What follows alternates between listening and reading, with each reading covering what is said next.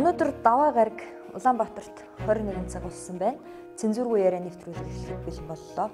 Манай өнөөдрийн зочноор одоо нэг улс төрийн манлайлагч гэдэг улс төрд их тийм дондж байгаа юм. Би ард түмнээсээ одоо уучлал гуйж байна. 200 г амттай тийм. Сонгоё багвандгаа их хоёр хоёр хоёрны газар уулзахгүй юм шиг байна. И жишээлүүд сайн муу хэлэгдлээч гэсэн Монголдо хинэж таних санжийн баяр байгаагүй. яриаг байгаа. Та Тэгээ бид юу? энэ та ягаад наваг ийм асуудал тавьж байгаа Би сүүлчийн 3 засыг хамгаалаад дийлээгүй шүү дээ. өөр зоригтой, улс төрийн зоригтой. Тэмүүжин гэдэг нэртэй Чингис Баатар гачраа хийждэг ажил биш л дээ. Энэ чинь өөрөө ийм гайчин байхад бид нар энийг дэврээгээл 20 жил явуулчлаа. Тэгээд эдгээр сони юм их одоо их хурлын гишүүдийн их хурлын гишүүний бүр ирэх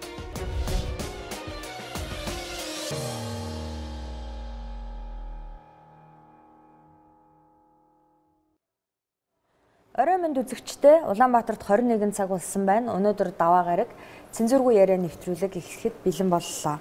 За манай өнөөдрийн зочноор үндэсний аж үйлдвэрийн зөвлөлийн гүйцэтгэх захирал олноо тарилаа бусж байгаа гэж нэрлэгдсэн. За аж үйлдвэрийн гавьяат ажилтсан жаргал сайхан гойрог дээрэд байна. Танд орой минь төргийа. Ороо минь дүргийа. За та бүдэрийн ярилцлага бол өнөөдөр Монголын үндэсний эдийн засаг, аж үйлдвэр, за эдийн засгийн тусгаар тогтнол гэсэн сэдвэр болох уу гэж би найдаж байгаа. Та бол мэрэгжлийн инженер хүн. Үндэсний аж үйлдвэрийн салбарын хөгжил гэж манай улсад байна уу? За сүүлийн 27 жилийн хугацаанд бид нар чинь нөгөө неолиберал неолиберализм буюу чөлөөт зах зээлийн онлыг а Монгол нутагт нутагшуулах гэж 27 жил оролдлоо л доо. Тэр оролдлогын бол ихний нэг хэсэгт бол эрдээсээ энэ үндэсний аж үйлдвэрийн салбараа нураан бутрааж тараах ийм ажлууд бол хийгдсэн. За тэгээд үндсэндээ Монгол улс бол бүс нутагтаа аж үйлдвэрчсэн, милитарийцсэн 110 мянган ажилчин ангитай 100-аад мянган зэрэгтэй одоо айрамтай тийм ээ. Бас өөрийн гэсэн тийм хүчрхэг орон зайтай ийм ус орон байсан л да. Тэгээд үндсэндээ бол одоо а, түүхэдний авсрах худалдаа ченжи банкны э, банкны ченжийн худалдааны эдийн засгийн а, маллаж авах нам технологийн ийм л тогтолцоотой бол болчлоо л доо. Тэгээ социализм үед чи бид бол нэг 6000 нэр төрлийн бүтээгдэхүүнийг үйлдвэрлэж ард иргэдийнхээ хэрэгцээг үндсэндээ бүрэн хангацдаг ийм байсан. Одоо бол нэг 232 хэн нэр төрлийн бүтээгдэхүүн үйлдвэрлэж байгаа буюу 20 дахин бидний чадамж унсан гэсэн үг. Тий. Тэгэхээр байдал бол маш игзэгтэй, маш аюултай бол байгаад байгаа. Эдийн засгийн аюулгүй байдал бол энэ манай улсын хувьд бол маш хүнд бол байгаад байгааг бол одоо ер нь ойлгох цаг болсон л доо. Манай улс э, жилд одоо дунджаар 2.6 тэрбум долларын импортын бараа бүтээгдэхүүн хэрэглэдэг юм байна. Бид нар арт түмнэрээ нийлээд энэ ер нь хэр бодиттой байд юм бэ? Тий, би чи одоо аж үйлдвэрийн сайд сайдын дээр зөвлөх хийгээд байж байхдаа бол нэлээд наривчлан тоон судалгаануудыг бол гаргаж иржсэн л да. Тэгэхээр монголчууд бол өнөөдөр бол Та цаашаа харуул. тий, монголчууд бол үндсэндээ бол нэг 2.6 тэрбумын нэг тэрбум нь бол шатхуун, шатх тослох материал дээр очиж байгаа. За тэрбум доллар нь болохоор одоо бүх төрлийн одоо металл хийц тийм ээ. За тоног төхөөрөмж, машин механизм, сэлбэгэданг гээд энэ чиглэлээр тэрбум доллараар үлчиж байгаа монголчууд байд. Монголчууд Тий. За нэг а, 600 сая төгрөнд бол төрөл бүрийн хувцс тийм ээ. А хүнсний бүтээгдэхүүн дэг өргөн хэрэглгээний баруун импортлж авч яана л да. Тэгэхээр бол үндсэндээ бол энэ нөгөө колон орны шинж чанарыг бол үндсэндээ ингээд бүрэн тодорхой өгсөн хангаад өгсөн. Тэгэхээр энэ эдийн засгийн колоничлол буюу энэ нелиберализм онлоор дамжуулж монголчуудын одоо ширэмсийг нь бол сугалж яана л да. Үндсэндээ бол. Тэгэхээр энэ колоничлолын нэг зүйл бол үндсэндээ түүхээдийн маш юм давх. Нэгдүгээрт. А хоёрдугаарт нөгөө борлуулалтын зах зээлийг булааж авах. Тэгэхээр энэ дотоодын компаниуд өсөж боожох ёстой зах зээлийн энэ эрэлтийг нь ирээний эдийн засаг руу шилжүүлээд солонгосын эдийн засаг руу шилжүүлчихлээр энэ улс оронд чинь ажилгүй хөдөл ядуурл бий болчихсон тийм ээ. За тэгээд эрдээсээ нийгмийн баялагын хуваарлт бол үйлдвэрлэлээр дамжиж тэгш хүртээмжтэй хуваарлагдах гэхээсээ илүү эрдээсээ тэр уулуурхаан а, лицензийг эзэмшсэн. За нэг худалдаа банкны салбар дээр нэг ченж хийсэн нэг хэсэг улсууд л одоо үндсэндээ ингээд хөрөнгөж тийм ээ. А тэр мөнгө нь эргээд офшор руу орох гэх мэтлэнгийн ингээд монголчуудыг мөхлийн төөрөглөл рүү чирсэн ийм аюултай үзэгдэл бол бий болчлоо шүү дээ. Монголд ер нь аж үйлдвэр хөгжих боломжгүй гэж зарим эдийн засагчид ярьдаг болсон. Манайха өөрсдөө үйлдвэрлэх чадваргүй гэж үнэхээр тийм байд юм уу? Тий. Ер нь бол монголчуудын түүх бол өөрөө эзэнт гүрэн байгуулж ирсэн асар сайхан түүхтэй. Энэ эзэнт гүрнийг зүгээр ташуураар байгуулаагүй шүү дээ. Энэ үедээ бол тэр бидний өвөг дээдс бол тэр ганг тийм ээ хатаасан ганг дэлхийн хамгийн өндөр технологиор хийж чаддаг байж сэлэн буу зэвсгээ хийж чаддаг байж тийм ээ. Аа тэгээд Монголд үйлдвэрлэл хөгжих боломжгүй гэсэн тэр үгийг бол эрдээсээ энэ эдийн засгийн алуурчдын заавар зөвлөгөөнд орсон тийм ээ. Аа энэ сэтгэлгээ оюун санаа нь вирусчсан. Тэр гадаадын зөвлөхүүдийн үг хэлээр үйл хөдлөлөө хийдэг тэр хүмүүсийн амнаас гарч байгаа ийм л үг. Тий. Тэгэхээр бид бол социализмын үед яадаг байсан юм? малааж байгаа орноос хөдөөж байгаа аж үйлдвэрийн орн болох ийм зорилтоод бидний өвөг дээдс тийм ээ үйлдвэрлээд бүтээгээд хийгээд ингэ явж ирсэн. Тэгэхээр тусгаар тогтносон Монгол улсын бол эдийн засгийн тусгаар тогтнол гэдэг зүйлээ бид бас тодорхой хэмжээнд барьж авах ёстой.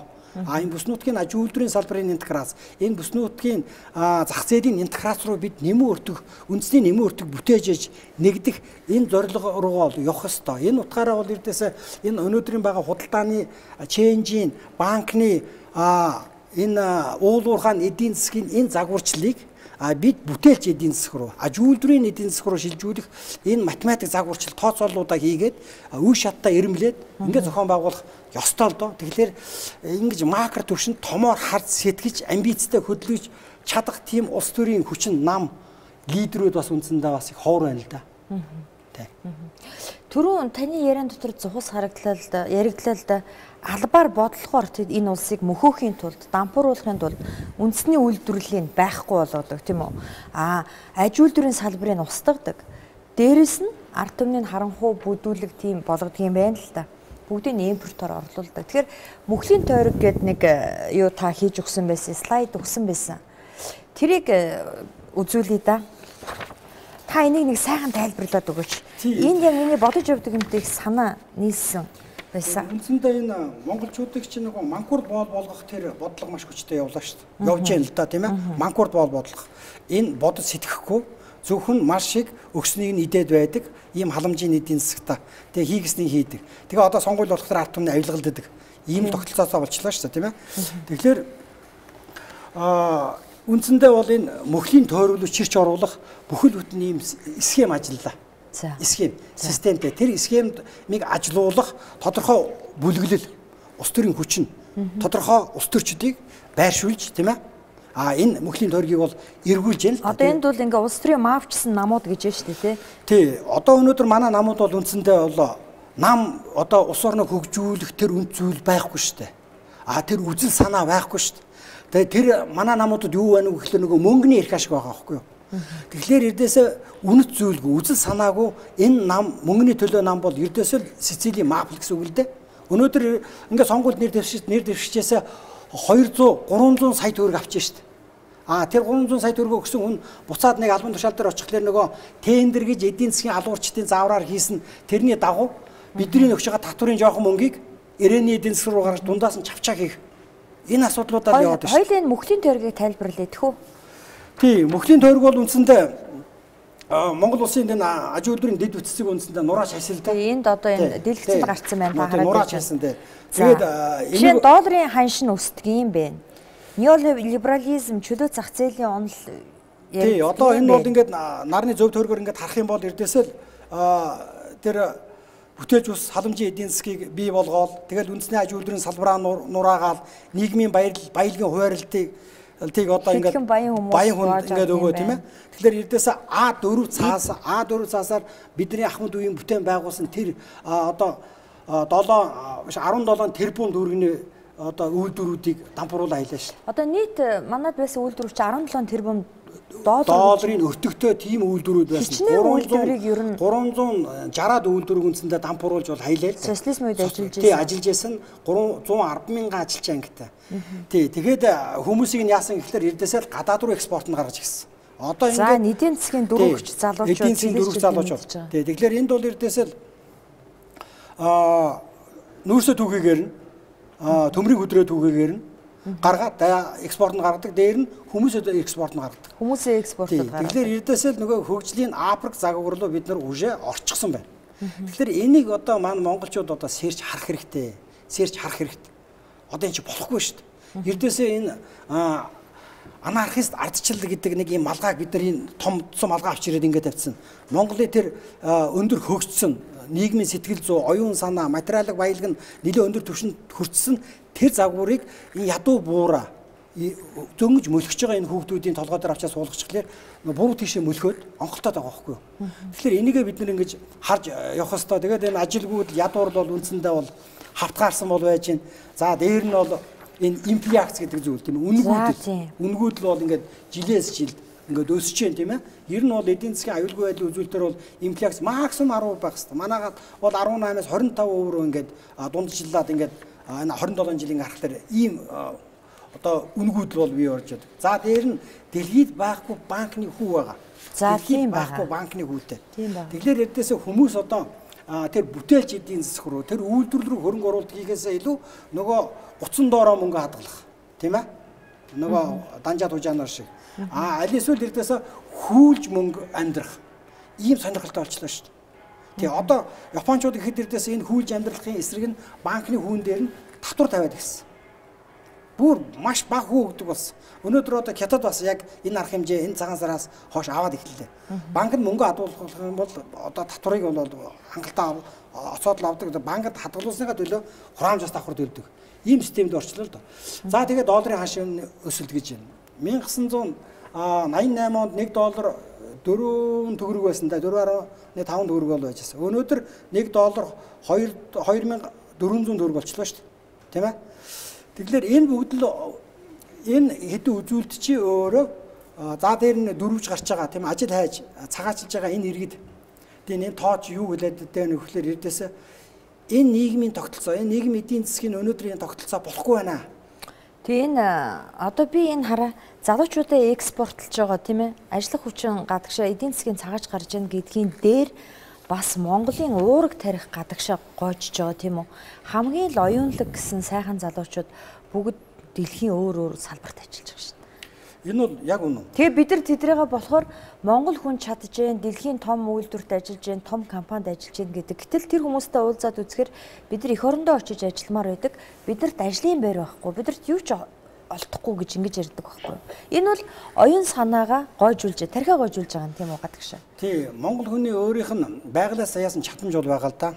Бие биедрийн төсвөр хатуужил, оюун санааны асар хурдтай аа зогцох, шинийг эрлэхийг энэ чадварууд нь бол өөрөө гайхамшиг бүтээх юм төвшөнд байгаа байхгүй юу. Тэгэхээр энэ улс орондоо бүтээж, сэтгэж, амьдрах тэр хүүл ярих зүй бизнесийн орчингийн үгүй хийчихэж байгаа байхгүй юу.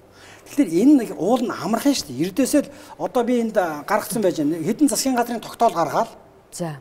А нэг 4 5 хууль өөрчлөөл ингээл эрдээсээ шийдчих хэвээр юм. Зүгээр одоо энэ эх оронч ерөнхий сайд хөрөлсөх бол баг нэг өдрийн дотор энэ хэдэн тогтоолын гаргаад өгчих боломжтой. Би одоо ерөнхий сайд хөрөлсөх биднэрт Яг ямар ямар тогтоол та хүсээд байна засгийн газраас? За одоо энд бол байна л да одоо миний одоо энэ дотор. За одоо энэ үйлдвэрлэлийн эдийн засгийг үйлдвэрлэлийн эдийн засаг руу бүтээлч эдийн засаг руу шилжихэд нэгдүгээр энэ үйлдвэрлэлийг дэмжих тухай хууль дээр нэмэлт өөрчлөлт оруулах хэрэгтэй. Энэ бол дутуу дүлмэг хийсэн. Тий. Энэ ягаад дутуу дүлмэг хийснэ гэдэг чинь би бас багцаалж байна. За дээр нь энэ тендерийн хууль гэж одоо ердөөс үндсэндээ нэг авилгал цэцгэлүүлсэн аимшигтай хууль бол байж байгаа. Ердөөсийн залуучууд ягаад цүнх барьж гүйгэж ус төрлөө авах гэдэг. Ягаад дарга болох гэж гүйгээд идэв. Гэхдээ энэ тендер хууль чинь энэ нийгмийг ийм болгочиход байгаа байхгүй юу? Аа тэгээд дээр нь бол энэ мэрэгжлийн холбоотуудын тухай хууль гэж энэ зах зээл үндэсний үйлдвэрлэгчд өөрөө хян зохицуулдаг. Тэр солонгосын цагаан Солонгосын одоо ган үйлдвэрлэгчдийн холбоо гэж байж байна. Солонгосын машин үйлдвэрлэгчдийн холбоо гэж байж байна. Солонгосын цагаан бодоо үйлдвэрлэгчдийн холбоо гэж байж байна. За хятад энэ бүс нутгийн мэрэгжлийн холбоотууд зах зээлээ хямдаг. Төр нь хямдаг биш. Төрөө ингээ хамтраа хийдэг. За дээр нь эх орон худалдаа авалтыг дэмжих тухай нэг ерөнхийлөгчийн зарлиг гарчаасаа гэж би одоо хүсэж байгаа юм.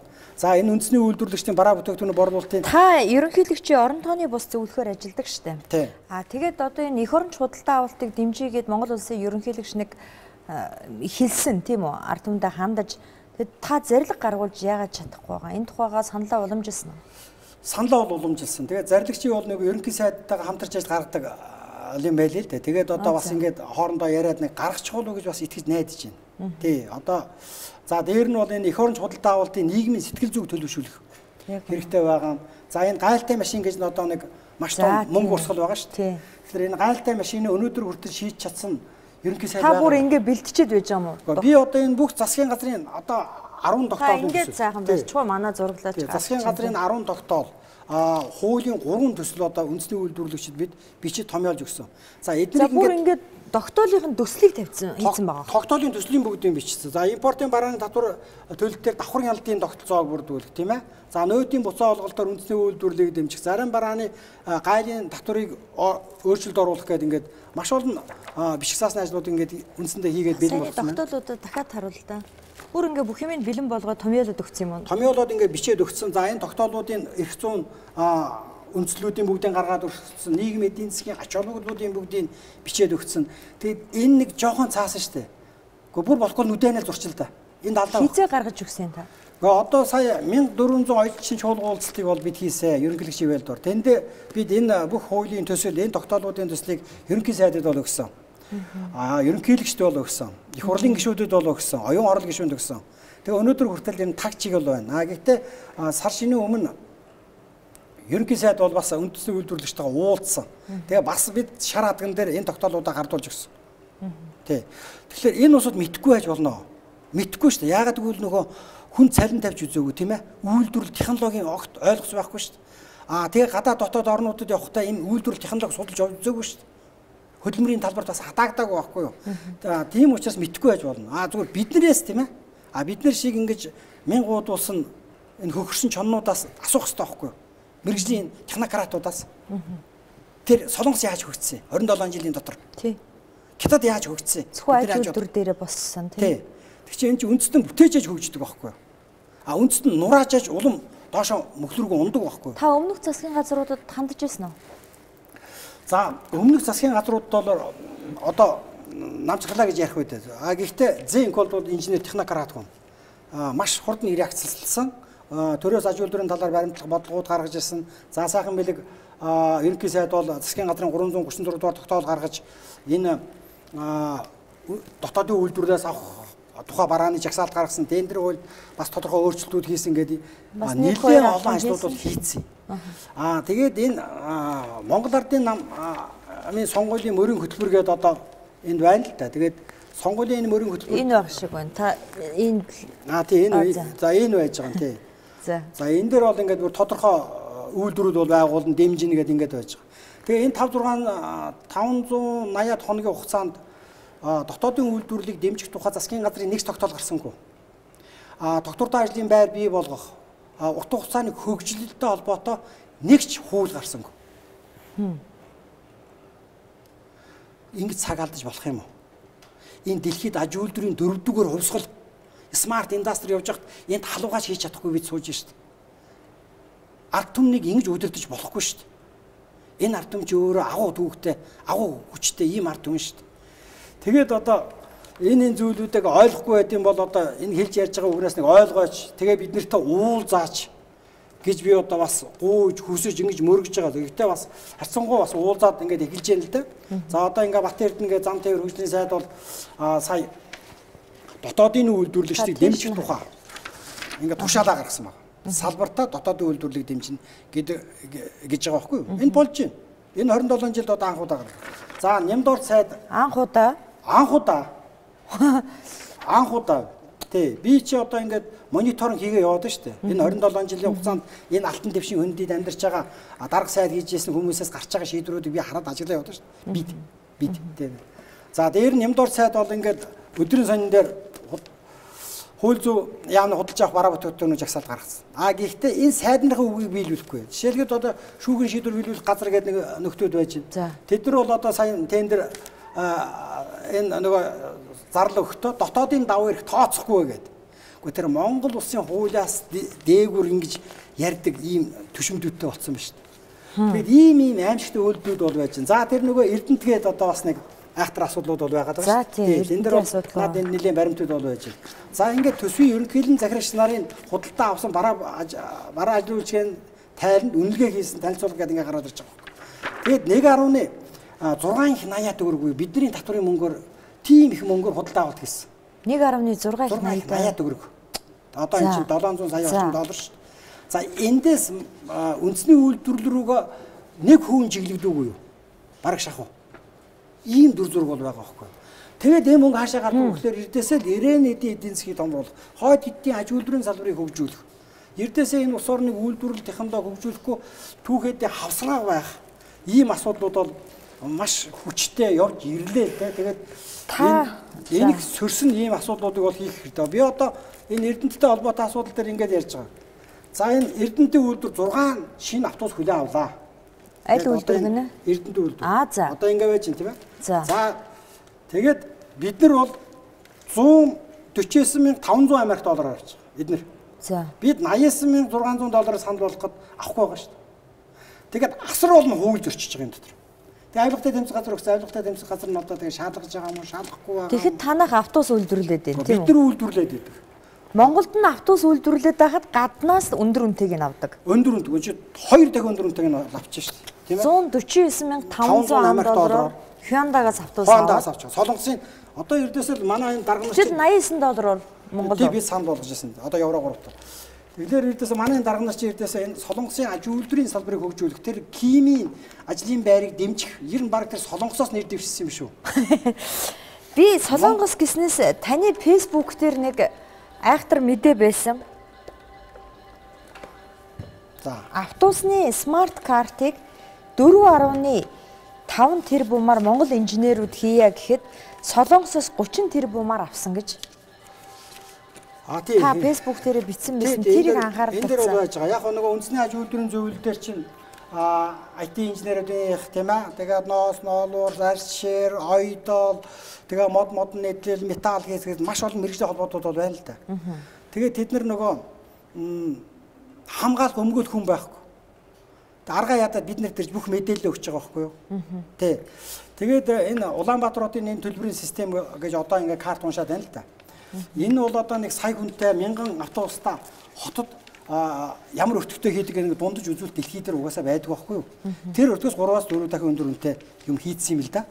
Тий. Тэгээд одоо энэ Халиунбат гээд нийслэлийн иргэдийн хурлын төлөөлөгч Инх туяа гээд нийслэлийн иргэдийн хурлын төлөөлөгч Баян мөнгө гээд нийслэлийн иргэдийн хурлын төлөөлөгч Сүхбаатар Үнэнбат гээд энэ нэг таван төлөөлөгч одоо энэ дээр ингээд шалгалт хийгээд дүнэлт гаргаад тий энэ бол үнэхээр болчимгүй үйл хийжээ гэдэг ингээд заасан. Одоо саяны тэр смарт карт тийм? холбоотой асуудал дээр.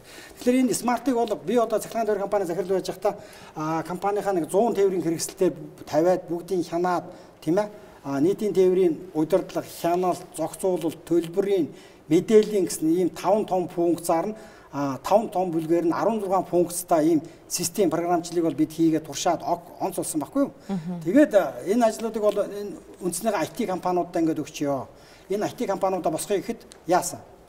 Ингээд солонгосчууд өгсөн. Тэгээд одоо шийлэг дам гэдэг нөхөр эрүүл мэндийн IT-ийн бүртгэлийг бол хятадуудад өгж байгаа өрөөндөө гардуулсан шүү дээ тийм ээ авилгатай дамжих газар 500 сая э, долларын ахуйл авч байгаа. Аа энэ усуд бол солонгост очоод үндсэндээ баг авчиж гэнэ гэж хэлж болох байхгүй. Тэгэхээр энэ э, солонгосын ард түмэн бол өөрөө гайхамшигт. Аа гэхдээ энэ э, Монголын авилгачдыг сурган хүмүүжүүлэх маш том одоо ажлуудыг энэ солонгосчууд бас хийгээд байна. Одоо бас нэг солонгосын болж бүтэхгүй нөхдүүд нь эндэрсэн тийм ээ. А бидний ядуу оюун санааны дархлаа байхгүй энийг далимдуулж энэ дарга нарыг ирдээсээ а одоо авилгалын хичээл зааж штт. Тэгээ одоо ингээд манай автобус үйлдвэрлэнэ гэл ингээд ярихлаар чи ирдээсээ үгүй солонгосоос авна. Гэл ирдээсээ 7 хоногт баг нэг шахуу тэр Сеул руу нисдэм шүү. Гэхдээ тэг чи 7 км-ийн цаана байгаа Экобус гэж компани дээр очоод үзээд хамтраад ярилцаад ингэж явах хэрэгтэй шүү дээ. Тэгэхээр Монгол гэж бид нэг завин дээр хамт явж байгаа шүү дээ. Энэ завиа хэдүүлээ хөлгөө онцолгоё л доо. Бат сүртэй болгоё л доо. Тэгээд завиа битээ цөмлөөч дээ. Наа чи живэх гээд байна шүү дээ. Гэхдээ би ийм л үг хэлж шүү дээ. Тэгээ одоо таныг ингээд үйлдвэрийн аймаг танилцуулаад орохоор юу гэх вэ? Гэхдээ би одоо зам тээврийн сайдыг манай дээр ирээч гэж өрсөн дөрөв өдөр ирнэ гэж амласан бол байж байгаа. За маргааш тогтолцоомоо сайд буюу боловсролын сайд бид нартай уулзъя гэж ирсэн. Тий одоо боловсролын салбар дээр юу байдаг вэ гэхээр нөгөө мө парк ширээ. Гэхдээ одоо энэ ширээг чинь монголчууд хийсэн үү? Хийвгүй л байгаа байхгүй юу? Гэхдээ бид одоо ингэдээ доош унсан байна шүү дээ. Тэгээ боловсролын салбарын тэр нөгөө бүх сургуулийн ширээ саналууд бүгд майдын ирээ. China. Ирээнээс. Ирэнэс. Тэгэл тэр нөгөө гал зуухны тавилга мавлга за за Арайч тийм. багцлаад ингээд игээд байгаа. Наадгын чинь бүр нөгөө боловсролын яамнаас яамны харьяас сургалтын тоног төхөөрөмжийн үйлдвэрт хийдэг байсан шүү дээ. Одоо бол харин тэгээд дотоодоос авахаас илүү гаднаас зөөгдөг тийм ээ. Тэгэл а, монголчууд одоо а, үнэтэй гэдэг байгаа байхгүй. Тан энэ ямар учиртай юм би танаас тэмдэглэж авсан байсан. Тэгээ энэ бол одоо Солонгосоос 25 сая Америк доллараар 200 автобус авна гэж байгаа. Нэг автобусын 125 Одоо юу? Тий 125 а, мянган доллараар. За. Одоо сая 43 автобусыг авсан 300-аад сая төгрөгийн үнэтэй 43 автобус одоо зогсож штэ Асимаар тийм ээ. Тэгэлэр нөгөө Монгол хүнтэйгээ ярихаас илүү одоо биднэртэй ярил нөгөө авилгын мавилгын нөхгүй тийм ээ. Дараа нөгөө матас сатас гэж нэг айд юм шиг байгаа. Тэгээд нөгөө хилийн цаана гараад тэгээ хилийн цаадах үйлдвэрлэгчдийг дэмжих ийм хүмүүсийг бид сонгоод байгаа юу?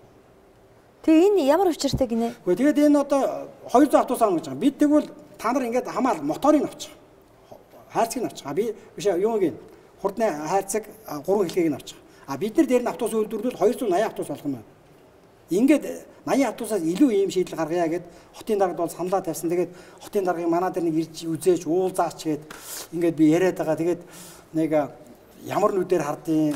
Одоо нэг өнөө үхэлсэн хүнд өхөр нохоо дургуу илүү хүн дургуу хөр унсан хүнд нохоо дургуу гэж нэг тиймэрхүү нэг уриалган байж чадахгүй л байна л да. Тэгээд тэр шилэн цогоо гэдэг нэг дэд сайд байдаг тийм ээ. Зам дээр тэрийг би ирээч гэж ярьсан. Баяр хүү гэдэг нэг солонгост ажиллаж байгаад энэ дээр ус төр дороод хотын орлогч даргуулсан нэг нөхөр бол байж байгаа. Алхаж хадаас барьж үзээгүй. Тэгээд солонгосчуудын улаан пен. Аа. Тэгээд чи Монгол хүнээ дэмжиж тээ. Монголчуудыг ажлын байртаа болох ус орноо хөгжүүлэх гэж энэ нөхдүүдийг сонгосон шүү дээ. Дээр нь ингээд төрийн маш олон бодлогын баримтч гарсан байгаа байхгүй. Улсын хурлаас энэ үндэсний аж үйлдвэрийн салбарыг хөгжүүлэх 10 бодлогын баримтч байгаа. Хэрэгжидгүү хэрэгжүүлэх дагаж гарах тэр хуулиуд нь байхгүй тэр засгийн газрын тогтоолууд нь байхгүй энийг ингээд аваад санаачлаад тэр шийдвэрүүдээ гаргаад энэ ус орноо хөгжүүлчих тийм харизмтай тийм үзэл санаатай тийм үнд зүйлтэй хүмүүс чинь их цөөхөн байгаад байна шүү дээ. Ерөнхий сайдад та хандсан уу? Ерөнхий сайд нэлээд үндэсний үйлдвэрлэл, аж үйлдвэрлэлээ дэмжинэ гэж амласан шүү дээ. Тий би зүгээр ухаанаа олохгүй байж магадгүй. Тий ягаад гэвэл нөгөө энэ технократ биш байхгүй тийм ээ. Тий. А гэхдээ нөгөө пак генерал шиг Тий. пак генерал шиг энэ ус солонгос улсыг аж үйлдвэржүүлсэн, аж үйлдвэрчлэлийн хувьсгал хийсэн. Аа тэгээд энэ технократуудаар өөрийгөө тойрч хүрээлүүлээд дуу хоолойг нь сонсоод энэ хамт суугаад энэ тоонуудаа бодоод энэ математик завшлагын бодоод гаргаад өгөх юм бол бид нар хийгээл өгнө шүү дээ. Туслаад өгч шүү. Туслаад өгнө шүү. Өдөр шөнөгүй хагас бүтүү сангүй ажиллана шүү дээ бид нар. Яг тэр солонгосчууд шиг бэлэн байна шүү дээ. Тэгэл нэг өөрийгөө магтдаг нэг э, хідэн а, а, залуучуудыг цуглуулчвал одоо явахгүй шүү дээ тийм ээ. Тэгээд нэг магтуулах гэхээсээ илүү тийм ээ түүхэнд ерөнхий сайд болох хэрэгтэй байхгүй юу? Тэгэхээр энэ үндэсний аж үйлдвэрийн салбарыг хөгжүүлвэл бид нар тэр улаан нам байна уу, цэнхэр нам байна уу, ердөөсөө байдлын байхгүй шүү дээ. Танаа үндэсний аж үйлдвэрийн зөвлөлөөс гарсан бас нэг слайдыг би бэлдсэн. Бүс нутаг болон дэлхийн улс орнуудын дотоодын аж үйлдвэрийн салбараа хамгаалах импортын гайл нөтийн жишг гэж. Тэгээ энэ дээр бол танах айгүй гоё юу яасан бэлээ? Харьцуулалт өгсөн бэлээ. За, найруулагч дэлгэцэндээ өгч. За, энэ байна. Та одоо харж байгаа бох тий? Надад одоо энэ дээр байна. Харин тийм ээ. Тэгээд энд санаа алдмаар аимшигтай тоонууд харагдаж байгаа байхгүй юу? Манай импортын гайлын дотор 5% байд юм уу? 5% таа штэ. Тэгэхээр эрдээсээ Тэгэхэд Оросын холбооны улс 20-оос 63% одоо 75 болсон бүр. Нэмсэн юм уу? Нэмсэн. За, Хятадын импортын гайлын дотор нь 17-оос 125. бүр ийм. 125 тий. За, имп Солонгос их бүгдээр Солонгос улсын импортын гайлын дотор 10-аас 225%. Гэтэл манайх 5%. Тий. Тэгэхээр эрдээсээ энэ Тэгэхээр манай ч одоо импортын бараа зутгалгүй яах юм татваргүй юм дээ бараг. Гүн тэгэл энийг л өөрчилж шээ. Жоохол юм штэ. Эрдээсээ энэ импортын татварын бүс нутагта импортын татварын балансыг л бариулж ил да. Энэ гадаадын явдлын яам энэ дэр ажил да. Энэ элчин сайдууд ажил л да. Энэ ерөнхий сайд ажил да. А тэгээ дотоодынхоо импортын татварыг гаргахад ерөнхий сайдын эрх мэдэл нь бол байж байгаа шүү дээ. Засгийн газрын тогтоол гаргаад адилхан тэнцүү түвшинд аваач. Тэгэхээр эрдээсээ энэ дэлхий дээр худалдааны дайн зарлагдсан эдийн засгийн 20 гаруй хэмжээнд орсон нэг 3 4 улс бол байна л да. Энд бол Венесуэл байна, Хойд Солонгос байна, Куб байна, Монгол байна. А энэ эдийн засгийн 20 гаруй хэмжээ эдийн засгийн дайныг яаж хийдэг вэ гэхээр эрдээсээ л энэ татварын бодлогоор хийдэг байхгүй. А бид нэр одоо бид Хятадаас нэг 7 э, нэг 450 сая Америк долларын бараа импортлтэй. 450 сая Америк долларын. Гэхдээ бид нэг 45 сая долларын гутал заръя л да хятадын зах зээл дээр. Зөвшөөрөх үү? Ёстой зөвшөөрөхгүй шүү дээ. Бид Оросоос э, тэрбум долларын шатхуун авч байна. Гэхдээ бид 100 сая долларын сахин гүрдэг заръя л да. Ноосон цамц заръя л да. А адиал заръя л да. А одоо зоргиогээд хос гутал компани захирал тийм ээ гутлаа 40 доллараар гаргаад аваашаа зархад 75% татвар тавьчихж байгаа байхгүй юу? Тэгээд нөгөө бөөний худалдаа авалтын сүлжээр нь орд дийлэхгүй. Тэгэхэд Манайд тэгэхэд Эрдоган яаж ин Путинтэй гар барайл тэгэл а, хоёр орн а, татварыг аваачаал 5% болгож байгаа байхгүй юу? Туркүүдэд. Оросын зах зээл тэгэд нээж өгч шин. Тэгэхээр энэ худалдааны дайн үндсэндээ зарлагдсан бол байна л да. Тэгээд энийг олж харахгүй байгаа байхгүй бид нэр. Энэ дэндүү харамслаа, дэндүү аимшигтай, дэндүү бас мулгуу байгаад байгаа. Өмнөх засгийн газар ажил дүрийн яамтай байсан. Тийм үү? А одоо энэ саяны засгийн газарт ажил дүрийн яам байгуулсангүй л дээ. За одоо яг уу нэгэнт байгуулсан засгийн газрыг ялтай бил. Тэгэхээр ажил дүрийн энэ бодлогыг хэрэгжүүлж байгаа та нарыг сонсож байгаа яам нь ямар яам юм? Эсвэл одоо шадар сайд нь хариуцдаг юм уу? Засгийн газрыг хэрэглэх газрын сайд хариуцна гэж байхгүй зү. Хаана хариуцдаг? За би бол нөгөө ойд тойрсон сармагчин шиг л байгаа. Хаашаа хиндэ яаж хантаж хандах уу гэдэг дээр. Энд нэгдсэн цогц бодлого бол байхгүй байгаа. Нэгдсэн цогц удирдлага бол байхгүй байгаа. Тэгээ ямар сайндаа би ерөнхий сайд бол хэлсэн л дээ. За энэ аж үйлдвэрийн салбараа хөгжүүлэх. Энэ эдийн засгийн аюулгүй байдлаа хангах. Энэ эдийн засгаа төрөлжүүлэх. Энэ улсын их хурлын олон бодлогын шийдвэрүүдийг хэрэгжүүлцгээе. Ингийн тулд та ерөнхий сайд хажуудаа энэ аж үйлдвэрийн салбарыг эрчимжүүлэх комисс гэж байгуул. А тэр 1986 онд сайдны зөвлөлийн орлогч дарга сүрэнгээр ахлуулад аж үйлдвэрийн комисс гэж байгуулагдаад энэ дархны төмөрлөгийн үйлдвэрүүд байгуулад тэр ачааны машинууд ингээ хийгдэж, жиргүүлүүд хийгдээд ингээд эхэлж ирсэн. Харамсалтай нь тэгээд 90 онд бид нар нөгөө нийгэм солигдоход нийгмийн сэтгэл зүйн гүн шоконд ороод юу яаж хийхээ мэдэхгүй тэгээд нөгөө мухраар дагж гүүгээл ингээл ямар хөрсөн дээр унсныг бид өөрсдөө бүгдээр мэдчихэж байгаа шүү дээ. Мөхлийн хөрсөн дээр унчаад байна. Тий. За Дэлхийн банкнаас гаргасан улс орнуудын эдийн засгийн аюулгүй байдлын шалгуур үзүүлэлт гэдэг юм гарчээ. За энэ дээр хэрвээ энэ судалгаа үнэн бол бид үнэхээр мөхөж байгаа юм байна манай улс. Та энийг э, одоо тайлбарлаа. Би дэлгэцэн төгсөн танд байна бас. Тий, ер нь бол энэ эдийн засгийн аюулгүй байдлын шалгуур үзүүлэлтүүд гэж дэлхий дээр ингээд хийгдэж байна л да, тийм ээ. Тэгээд энэ тоонуудыг харахаар үнэхээр бид нэг үнэхээр колоо ормолцсон угаас харагдаж байна л. За дэлхийн босго үзүүлэлтийн хувь гэ байж байна тийм үү? Тэгэхээр чи одоо энэ Монгол улсын эдийн засгийн аюулгүй байдлыг үзүүлдэхээр бүр аимшигтай харагдаад байгаа байхгүй юу? харин тэгэхээр энд чи одоо ингээд авах үзүүлэлтүүд бол байхгүй. Тэгээд энийг эрдээсээ манай үндэсний э, аюулгүй байдлын зөвлөл энэ эдийн засгийн аюулгүй байдлыг хангах талаар ямар санаачлалтай ажиллаж байгаа. Юу хийж байгаа? Энэ шалгуур үзүүлэлтүүдээ ер нь мэдж байгаа юм уу? Энэ төрийн тусгай тогтнолын аюулгүй байдал, оюун санааны тусгай тогтнолын аюулгүй байдлын энэ үзүүлэлтүүдээ нэгтгэж харж чадж байгаа юм уу? Гэт ингээд олон асуудлууд гарч иж байгаа байхгүй. Тэгэхээр энэ тоон дээрээс үндэслээд бид энэ э, хүндрэлээс яаж гарах уу? Ямар хугацаанд гарах уу? Ямар эрэм дараатаа а, шийдлүүдийг хийх үү? Аа одоо энэ дотор ингээд айхтар айхтар тоонууд одоо байна л да. Бүр ингээд за эхнээсээ ингээд дотоодын нийт бүтээгдэхүүнд дотоодын хөрөнгө оруулалтын эзлэх хувь гэхтэл дэлхийн босго 30% байд юм байна. Дээрээс хоёр дахь. Гэтэл манад 2хан хувь байх жишээ нь тий. Тий. Одоо ердөөсөө манай бизнесмэнүүд Шинжлэх ухааны одоо чинаараа дотоодын нийт бүтээгдэхүүн шинжлэх ухааны судалгааны зардлын эзлэх хувьд 5 байх ёстой хад манад 1 байх жишээ нь ингээд хойшоогоо бол бүр амар тоонууд харагдаж ил л дээ. Энийг ингэж нөгөө хүмүүс тайлбарлаж өгөхгүй байна. Тэгэхээр хүмүүс мэдэхгүй байна. Та хэд зөвхөн өөрсдийнхөө хэмжээнд л мэдээд байна. тий. Тэгэхээр өнөөдөр улсын их хурл дээр яг энэ хөгжил ярьж байгаа улсын хурлын гишүүн хэд хэд байгаа вэ? Би Хөгжил ярьж олж хараагүй. Хөгжил ярьж байгаа. Олж хараагүй. Тий. А өнөөдөр нэг за энэ жил 100 бүтээгдэхүүн үйлдвэрлэж Монголч үйлдвэрлэж чаддаг болж энэ технологи нутагшуулчих гэж хэлж байгаа их хурлын гишүүд дарга сайд нар хэд байна? Байхгүй шүү дээ. Тэгэхээр чи энийг ойлгохгүй байхгүй юу? Тэгэхээр нөгөө нэг манкурт боолын сэтгэлгээ рүү авч ирээд энэ Монголын нийгмийг ингээд түлхээд оруулсан байна шүү дээ. Тэгэд энэ мөхлийн тойргоосоо гарахгүй л юм бол бидний үр хүүхэд ач хууч зээнэр бол аяг бол маш хүнд хөв тавилан хүлээж байгаа. Бид одоо хүүхдүүдтэй ийм ирээдүг бэлгэлж бол болохгүй шүү дээ. Бид нар бидний үеийг бол харааж мөхөө шүү дээ тийм ээ. Тэгэл одоо тэгж гарах тэгэхийн тулд одоо энэ үндэсний аж үйлдвэрийн салбарыг хөгжүүлэх төрийн бодлогоо гаргах хэрэгтэй. Энэ төрийн бодлого нь бол Монгол хүн төвтэй хөгжил байх хэрэгтэй. Монгол хүн төвтэй. Тий. Тэгээд энэ бодлого яадаг юм бэ гэхээр энэ аж үйлдвэрчлэлтийн санхүү зээлийн тогтолцоогоо бий бид бий болгох хэрэгтэй. Эхлээд. Эхлээд. За. За тэгээд дээр нь энийг бий болгонготлоо нөгөө гар тал дээр шууд борлуулалтын зах зээлийг хамгаалж өгөхгүй бол одоо сая Чингис Бонд интерес бол энэ талаар зээл өгөн гутал энэ талд нь хамгаалтгүй учраас нөгөө үйлдвэрүүд нь дампуураад босч чадахгүй тийм ээ.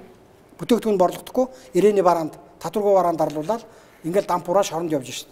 Үйлдвэрлэгчид. Тэгэхээр эрдээсээ ингээд цогцоор нь хийх ёстой. За дээр нь энэ эх оронч худалдаа авалтаар дэмжиж тийм ээ бүтээгдэхүүн борлуулалтын дотоод гадаад зах зээлийг нээж өгөх. Тэгэхээр одоо манай аа элчин сайд нар дотоодынхаа бараа бүтээгдэхүүнийг зарахын тулд ямар санаачлагтай ямар үр дүнтэй ажиллаж байгаа бол Мэд. тухайн улс орнуудын мэдхгүй харин бүх төвшөндөө мэдхгүй гэж хэл. Байдал юм болсон байхгүй. А тэгэхэд энэ солонгосын элчин сайд тэр аа хятадын элчин сайд бүгд одоо хотын даргын үүдэн дээр нэг юугаа дагуулчихсан үйлдвэрлэгчээ дагуулсан. Манай юм бараг аваад өгөөч гэдэг ингээ гүйлдэ явж шít. Тэгээ нөгөө хотын дарган гадаадын элчин сайд компани усуудтай уулзахдаа хаппи. А бид нартай уулзах ихлээр бас аа царай нь өөр болоод байдаг. Энэ үндэсний аж үйлдвэрийн салбарыг хөгжүүлэх Монгол төрийн бодлого гэдгийг та бүхэн зохиосон юм уу те? Энийг боловсруулж хийсэн юм уу? Бүгд хийгдсэн байгаа л да. Та нар та нар хийсэн юм уу? Гэхдээ энэ бол нөгөө мянганы цогц бодлого гэдэг инхээр даргын үед нэг хийжсэн юмнууд тэндээс л явж байгаа. Гэхдээ тэнд дандаа дутуу хийгээдсэн юм байл. А бид хийсэн. Бид энэ Монгол гэрийн зураг тавьчаад хийсэн. А бид энэ хийж чадна бас. Цогцоор нь хийж чадна. А нэг 10 15 жилийн дотор энэ ус орныг бүс нутагта дунд төвчний хөгжилтэй юм ус орн болгож бол чадна. Технократууд, технократууд байхгүй юу? Тий. Салбар салбарын. Салбар салбар дээр, салбар салбар дээр. Тэгэхээр эрдээсээ энэ баялаг бүтээгч, нийгмийн баялаг бүтээгч энэ хүмүүстэйгээ хамтарч ажиллах хэрэгтэй байхгүй. Өнөөдөр ус төрчд нь ийш хараа суучихсан. Нийгмийн баялаг бүтээгч нь ийш хараа очсон. Нийгмийн баялаг бүтээгч юу гэхээр нөгөө ченж хийдэг, худалдаа хийдэг. Тэр усудаа ойлгочихсон. Одоо- биш байхгүй юу? Лиценз зардаг хүнийг нийгмийн баялаг бүтээгч гэж андуурчин.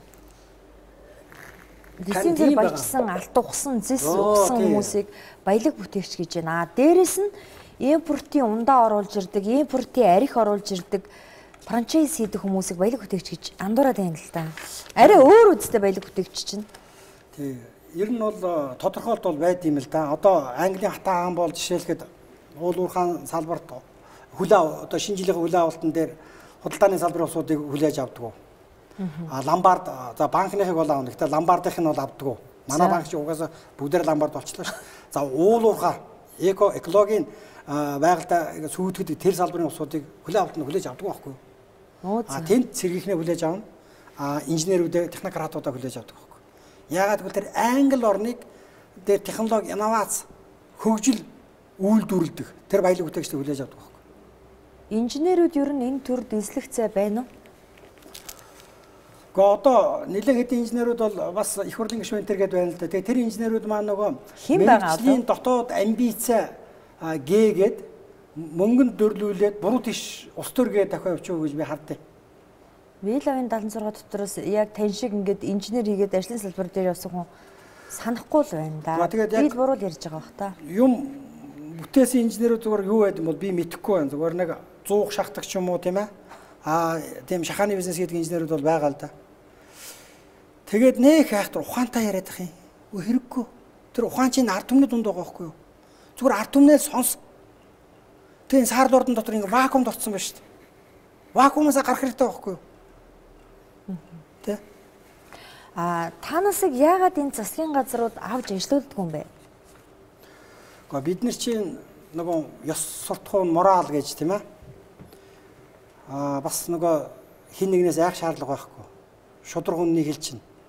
Аа хөгжлийн зам э, чиглэлийг зөв оновчтой гаргах энэ э, зүйлүүдийг бол хэлнэ. Өршөлтөгч нэг талаас харагдаад байгаа байхгүй юу? Тэгэхээр бас хүчтэй өрсөлдөй байгаасаа нэг дайна. Хоёрдугаар магадгүй даадгууртаа тэр хүмүүс байна шүү дээ. Монголын төрийг самруулж байгаа. Өнөөдөр Монголын төр чинь мөнгөний төр, мафийн төр болсон байна шүү дээ. Тэгэхэд ийм төрийн дунд ёс зүйтэй, ёс суртахуунт улс орны хөгжлийг ингээд зөв харчихсан хүмүүсийг авчирч байршуулах уу? Та нацаг нэм гэж төрийн сойрхолд инженерийг санаж байгаа бох тийм үү? Тэр хүнээр ардын нам нүүр царайгаа хийгээд рекламанда хүртэл тоглуулаад байсан. Юу шийдэгсэнгүү бол явуулчих ба да. Тий, гайхамшигтай толгоо л доо. Гайхамшигтай толгоо. Тэр аж үйлдвэрийн IT салбар гэдгийг бий болгож байгаа залуу байхгүй юу? Одоо өнөөдөр манай IT салбар бол нэг бүртгэл мэдээллийн төвшнээ тийм ээ. А ийм л төвшөнд хөгжөөд байгаа л да. Тэгэхээр аж үйлдвэрийн IT-г анх гаргаж ирж тэр сэргээгт генераторыг ажиллах гормуудыг тодорхойлж тэрний програм хангамжийн бичиж тэрний хардверийг хийгэж манай троллейбусны конвентер инвентрийг хийж тийм ээ. Ингээл өнөөдөр энэ троллейбусны тутамжинд явж гэнэ үү ард түмнээ 300 төгрөгөөр тээвэрлээл үгүй ийм ийм хийсэн залуу штэ а тэр хүн яг зөв ярьж байгаа байхгүй. Тэгээд нөгөө зөв ярих тусам нөгөө энэ монголчууд сэрчгэндээ энэ монголчууд босоод ирэх үедээ гэдэг айдас тодорхой бүлэг усуудад бол байна шүү дээ. Тэгэн гутал нөгөө янз бүрээр тэд нар чинь хэл мэдээлэл бас атгахчихсан нэг хэл мэдээлэлээр янз бүрээр яриад. Тэгэл ингээл гадаад руу цөлөө ичлээ л дээ. Одоо тэгээ алдчихлаа тийм. Цөлчлөө. Хааш нь явуулсан? Англи руу зөчих шиг боллоо. Аа тэгээ Монголд хийх боломж нь байхгүй бол байхгүй болгож байгаа байхгүй. Тэр хүний нөгөө амьдрах орон зайг нь хаагаад байгаа байхгүй. За миний орон зайг одоо бас тэгэл мянга тумаараа хаагцал да. Зовлон дундор туучиж бид явж байгаа. А гэхдээ бид шантарна гэж бол байхгүй.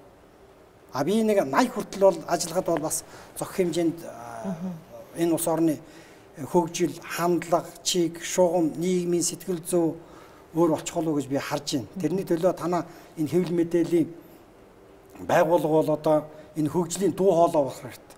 Түүнээс хөгийн мус ус төрчдийн дуу хоолой болж болохгүй шүү дээ. Тэгээ энд нэг хов ярддаг ус төрчдийг авчирч ардын баатар болгоод шаардлага байхгүй шүү дээ. Энд хөгжил ярддаг улс орныг ирээдүрөө чирч явдаг тэр хүмүүсийг авчирлаа.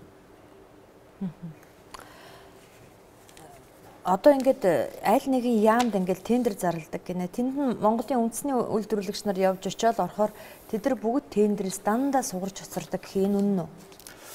Ер нь энэ нөгөө тендерийн хуулигчийн өөрөө Монгол хүн ялахгүй байх ийм сценараар хийсэн байхгүй юу? Би одоо баг 20 жилийн тендерийн хуультай ноцолж шít. Заалт болгон дээр нь заавал Монгол дээр нэг гацаад эгээ тавина Тэнд сууж байгаа нэг жоохон төшмөл уучраа мэдхгүй алсын хөгжлийн алсын хараагүй үнд зүйлгүй үзэл санаагүй нэг жоохон хүүхэд нэг 5% цавчаа 10% цавчаанд амтгшаал шийдлүүдэ гаргаа явж байгаа байхгүй юу? А Монгол хүмүүсээс аюулгал авч чадах уу? За баг хэцүү шүү дээ. Хэцүү. Чадахгүй. Чадахгүй шүү дээ, тийм учраас гадаад гэн дэмж. Тийм учраас энэ тоглоомын дүрмийг өөрчлөх хэрэгтэй байхгүй юу? Тоглоомын дүрм. Тэгэхээр Монгол гэдэг айл ингээ Ким, Ван, Иван, Жорж, Дорж гэдэг ингээ тав нөхөр мууш тоглоо гэхэд дорж дандаа хожигдхуuцаар ийм хуулийн эрх зүйн орчиг хийсэн байхгүй. Тендер хуулагчийн Азийн хөгжлийн банк авч ирээд шууд өгөө дэрэг нь орчуулаад гаргасан шүү дээ. Энэ дэр үндэсний эрх ашиг энэ ус ард түмний ажилд орлоготой байлгах тийм ээ үндэсний нэмэн өртөг бүтээх тэр үзэл санаа энэ хуулийн тогт байхгүй шүү дээ. Энэ бол харьцсан а бид нарыг нийгмийн баялагийг сорсон Монгол хүний шөрөмсийг сугалсан Ийм хууль байхгүй? Тэгээ энийг өөрчилж байгаа улсын хурлын гишүүн байна уу? Санаачлаад аваа явах. Дуурч гэнэ үү? Тэр саарл ордон дотор ашиггүй юм чинь.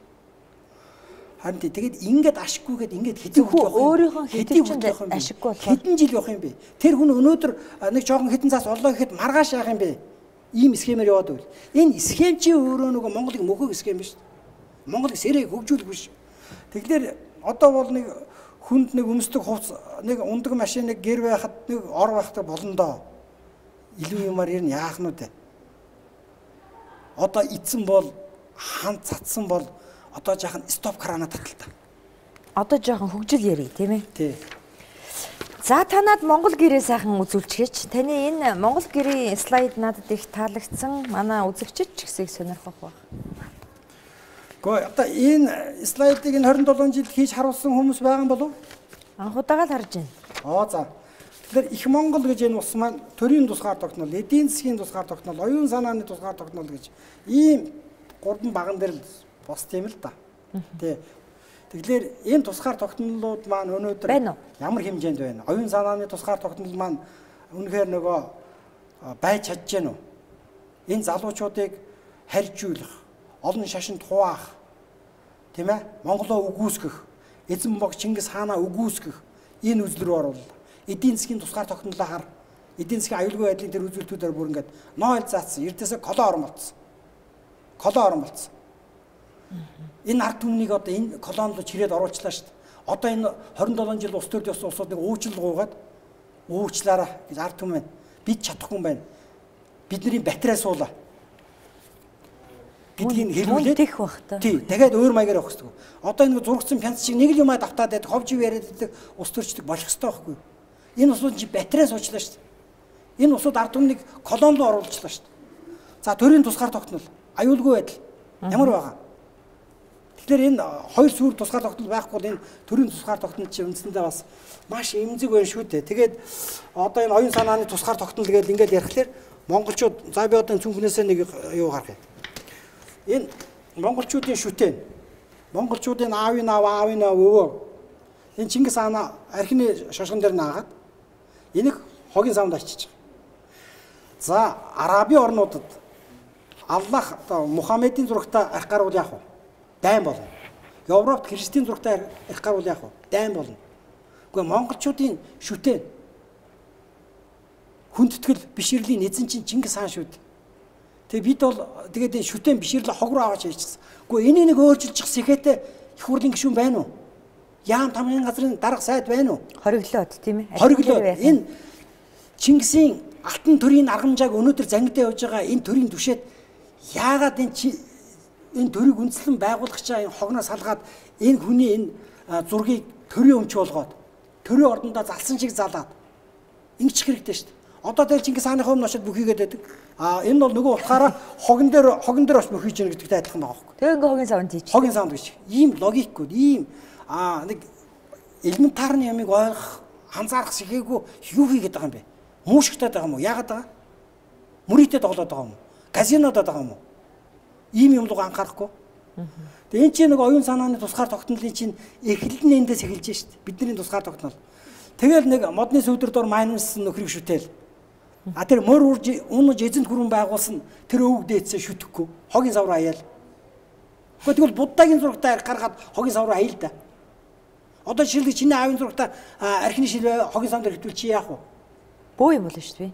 Оо энэ чиний аавын аавын аавын чи аав шүү дээ. Бараг барьж авна шүү дээ би. Чиний аав чи аав шүү дээ. Би наадхыг чи үйлдвэрлэегүй л дээ.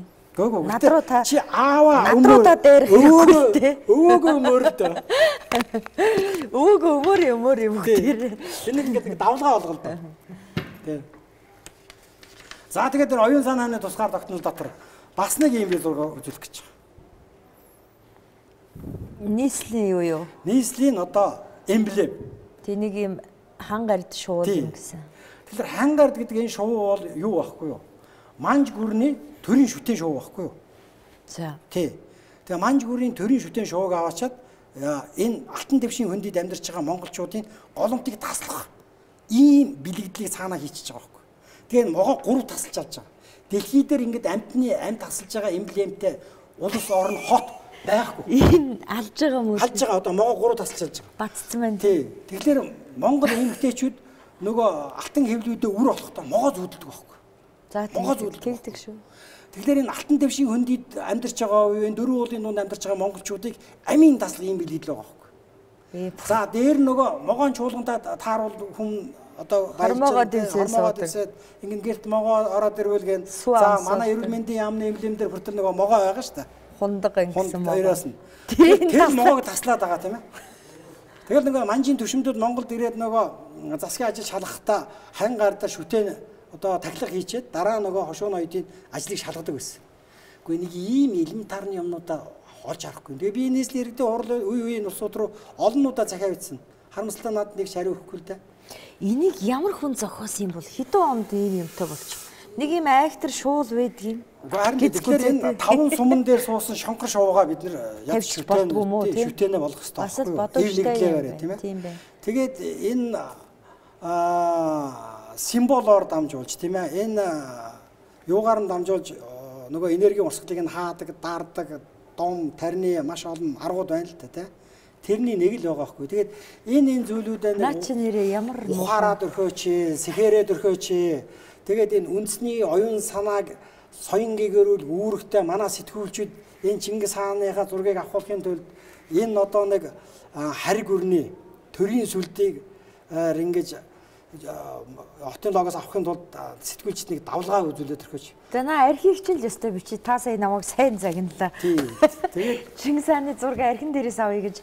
Энэ нэрээ бас их эвгүй юм биш үү, тийм ээ? энийг ингээд анзаараад харал да. Нийгмийн амьдралаа хараа харал да. Нэг анзаардгүй юм Алтан дэвшийн үү? хөндий шүү дээ. Энэ дөрвөн уулыг нь дундах энэ хөндийг чинь алтан дэвшийн хөндий гэж ярьдаг. Тэг, тэг. Тэгэхээр нөгөө алтан хэвлийд ураг дотор ураг осон эмхтэй Монгол эмхтэй могоо зүудэлдэг байхгүй юу? Тэгдэг, богоо Воо. зүтдэг. Тэгээд ингээд э, монголчуудыг голомтонд нь гөвж өгье гэсэн ийм санаа санаа яваад байгаа байхгүй юу? Тэгээд яг хүмүүс нөгөө тухайн үедээ шалгаруулаад байхдаа янз бүрийн нөгөө зөн совинтой уу. тайлбарласан л байх, Тий, янз бүрийн зөн совинтой янз бүрийн өгөгдөлтөй усууд энийг хийм гутал тодорхой энэ хүлээж авах өгөгдөлтөй усууд нь хүлээж аваад баталчихж байгаа байхгүй юу? Нөгөө хөх. Монголын хямар сүлттэй хүмүүс бол энийг хараад шууд эсэргүүцсэн шүү дээ. Тэгэхээр нөгөө буруу өгдөлтөй усууд хийгээд буруу өгдөлтөй усууд нь хүлэн зөвшөөрөөд баталцхлаар ингээд хот дотроо түгж ирээд утаандаа угаартаал а энэ эдийн засаг ус төр нь бужигнаал амьдрал ийм л байгаа шүү дээ. Тэгээд энэ энэ бүгдээ нэг олж хараад ухаараад сэхээрээд нэг зөв амьдрал руу хэдүүлээ хамтдаа явцгаая л гэж би хэлээд байгаа. Та хэдийн энэ одоо энэ их бичиг баримтыг чи ингээ хараа. Одоо сая хоёул зах цухаас нь л харлаа тий. Тэгэхэд үнэхээр одоо санаа зовмор дүнгууд байна л да. Энэ талаар чинь одоо нэвтрүүлэг хийгээд олон түмэнд харуулад үзүүлээд өгье гэж одоо манай салбарын гүүх юм уу? Туслах юм уу? Гэхдээ одоо манай хэвлэл мэдээллийн салбарынх салбарынхан чинь нөгөө мөнгө өгдөг ус төрчдийнхаа уяаны нохоо болцсон юм гэж хэлчихвэл одоо надад загнах байх таа. Загнана л да. Тэг уурлах байх таа. Уурлна. Ерөнхийдөө тиймэрхүү байгаа шүү дээ. Ийм том сэдв барьж авахгүй байгаа шүү дээ. Тэгэхээр том сэдвтээ ус төрч жалга байна. Аж үйлдвэр ярьдаг ус төрч байна уу? За ерөнхийдөө нэг аж үйлдвэр аж үйлдвэрийн парк байгуулъя гэд одоо Монгол улсын ерөнхийлөгч ер- сайд байхдаа л зэтгүүлээд бараагүй шоронд орохоор шахсан л та. Гэхдээ харин тий. Тэгэхээр энэ аж үйлдвэр жижиж ус орон хөгждөг юм аа. Юм бүтээжээж ус үндэст нь сэргдэг юм аа гэд энэ хаяа хавирганд ингээд хүмүүс харуулад байна шүү дээ. Тийм ээ. Дэлхийн түүх хүнд Харин дэлхийн бусад түүх юм орны түүх байна л да. Түүх юм шүү дээ. Тэгэл одоо бид чинь нөгөө дуучтай бөхчүүдэд дэмжчихээс энэ бол хэлбэр хөөцөлдөг нь бол ер нь их агуу. А дотоод агуулга талаас хөгжих чадвар бол байхгүй байна. Тэгээд аж үйлдвэрийн паркийг одоо яг барьж аваад цогцоор нь хийчихгээд баг 10 засаг дамжаад юу ч хийсэнгүү. 10 засаг дамжлаа. Хийсэнгүү. Нэгж парк алга.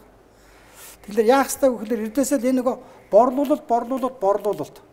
Тэгээ манай чи одоо ингээд малын хөвчлөөд а байрын хөвчлөж гутлаа а Монгол хүн бүтээж амьдрах зах зээлийн борлуулалтыг нь гадаадынханд хөвчлөсөн байхгүй юу? Одоо сайн дээр гайлын татвар дээр хуулиудаар. Одоо энэ мөрдөгж байгаа хуулиудаар. Тий. Тэгэхээр эрдээсээ нийгэм эдийн засгийн амьдралыг зохицуулж байгаа энэ хууль эрх зүйн орчин дотор тодорхой шинжилгүүд хийж бүтээлч эдийн засаг руу шилжүүлэх энэ ажил хийх шаардлагатай бол байгаад байна. Тэгээ одоо би ерөнхий сайттай бол нэг хоёр хугацаанд бас уулзна гэж бодож байгаа. Сая бид нар шар хатган дээр тавиад юугаа өгсөн, төслүүдөө өгсөн. Одоо надад ажил болгооч. Ажил хийгээч. Тодорхой шийдвэр гаргаач гэж хэлэх гээд байгаа.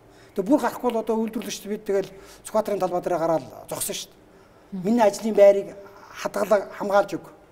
Монголчуудын бүтээгдэхүүн борлуулах боломжийг өг. Тэгэл одоо энэ 27 жилд үгээ хэлээгүй үйлдвэрлэгчд одоо босч эхэлнэ л дээ. Хятадыг, Өмнө Солонгосыг одоо Японыг дандаа л үйлдвэрлэгч инженерүүд босгосон байдаг тий. Манай улсад инженерүүд огт тоодгүй л дээ. Энийг юм гоё ярьсан, эсвэл улс төр хөөсөн тийм хүмүүсээ л илүү өөдөн татдаг. А тэгээ сүүлийн үед бол ерөөсөө одоо дуу хуурын тэмцээн үзэл дуу хуурын тэмцээн залуучууд ордог л боллоо л доо. Танд тийм харамсалтай өнгө төрх харагддаг уу? Мэдрэгддэг үү? Тий, би одоо энэ хошин шогийнхан гээд байж байна. Монголоод оромжилсан нэг сонь сонь юм ярьдаг. Нэг хэсэг нөхд байх юм. Уул нь урлагийнхан чинь бол энэ ус үндэснээ соён гэгээр үрж хөгжил дэвшил рүү явуулж амьдралын гоо сайхныг мэдрүүлж ингэж явах хэрэгтэй шүү дээ. Нэг тийм нэг хэсэг нөхдүүд байх юм. Хараад бас удрах юм. Урлаг гэж ярьдаг. За тэгэл нэг баахан дууны тэмцээн зохион байгуулах. Одоо соци- социализмын үед бол телевизийн эфирийн 80% нь тэр үйлдвэрлэл, тэр хөдөлмөрийн зайчуул, тэр шин технологи ярьдаг л байсан шүү дээ. Өнөөдөр эфирийн цагийн 99% нь Дууч. дууч ус төрийн хов, жив. Тэгэхээр энэ нэг бие бие нэг унах гэсэн энэ ус төрчдийн хэрүүл уруулыг энэ арт түмжин залхсан байна. Энэ үг ярихад. Одоо энийгээ жаахан болох хэрэгтэй. Тэр улсуудыг ардын баатар болох гэж харах. Одоо чи сайн би юм уу гэл. Би тэгсэн ингэсэн гэд. Ерөнхий утгаараа аваад туцах юм бол Монгол мөхцөл биш үү? Энэ эдийн засгийн үзүүлэлтүүдэд харалт. Дэлхийд хамгийн өртөө улс орн тэр Зимбабве байж дараа Монгол байж штэ. А тэр халууга хийж чаддаг хоёр орн байна. Африкийн Гамби, Азийн Монгол хоёр л байж штэ. Одоо юу? Одоо. Тэгэхээр би бие муулах юм байхгүй энэ устж бүгдээр бүр удаа байхгүй юу? Энэ усуудыг батарейн суудсан байна штэ. Одоо яамаар вэ? Гэхдээ одоо тодорхой их мэдэлд хүрсэн, тодорхой хөрөнгө төвлөрүүлчихсэн тийм ээ. Энэ уулуурхаан лицензээс офшордоо мөнгө хийчихсэн энэ усууд энэ мөнгөө нөгөө Монголыг хохирох а энэ үзэл суртал руу энэ аргачлал руу мөнгө хийгээд бити хийгээч. Хамтдаа хөгжөө.